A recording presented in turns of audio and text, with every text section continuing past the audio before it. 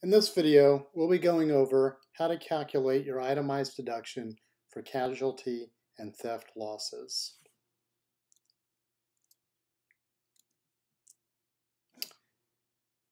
In order to itemize a tax deduction for casualty and theft losses, the loss must be attributable to a federally declared disaster.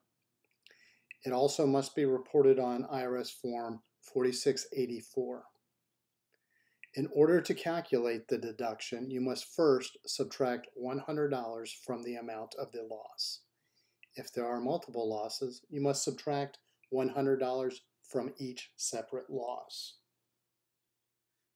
And then the total amount of all losses for the year after the $100 limit uh, must be more than 10% of your adjusted gross income as determined on line 11 of your Form 1040 or 1040 SR. This is also known as AGI. Do not report net qualified disaster losses from line 15 of your Form 4684. Instead, you will report net qualified disaster losses on line 16, where there are no uh, limitations or floors to the casualty and theft loss. Also, you cannot include any losses for which you received reimbursement. There are additional uh, restrictions and there is additional guidance on reporting casualty and theft losses, which you can find in the form instructions for IRS Form 4684.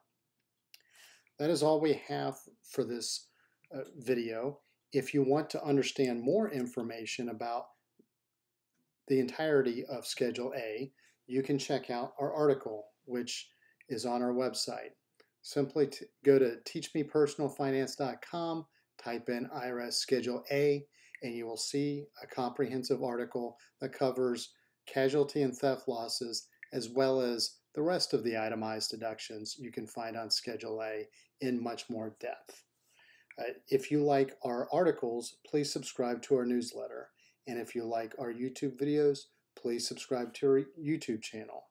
Uh, you can find links to other videos and forms that were mentioned in this video in our show notes. If you have any questions, please post them in the comments section. Thank you very much and have a great day.